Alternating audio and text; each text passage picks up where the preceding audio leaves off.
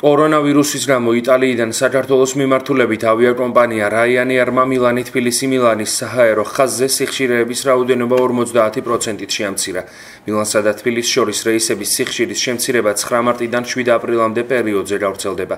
რაც შეეხება ქუთაისის საერთაშორისო აეროპორტიდან ბოლონიის მიმართულებას, 8 მარტიდან 7 აპრილის ჩათვლით პერიოდში ქუთაისიდან ბოლონიის მიმართულებით რეისები დღეის მდგომარეობით არ განხორციელდება.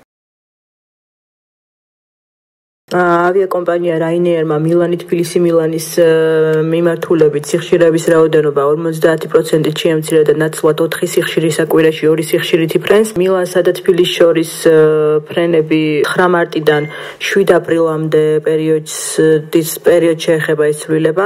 რაც შეეხება ქუთაისის საერთაშორისო აეროპორტიდან ბოლონიის მიმართულებით დაფრინავს იტალიაში ავიაკომპანია Ryanair და 8 მარტიდან 7 აპრილის ჩათვლით პერიოდში ქუთაისიდან ბოლონიის მიმართულებით რეისები დღევანდელი მდგომარეობით არ განხორციელდება. თუმცა ინფორმაცია ცვალებადია.